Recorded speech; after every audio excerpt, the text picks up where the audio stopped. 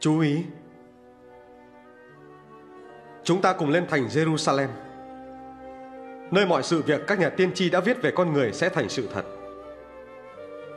Con người sẽ bị giao nộp vào tay kẻ thống trị. Họ sẽ nhạo cười Và đối đãi sỉ nhục cùng phỉ nhổ lên mặt người.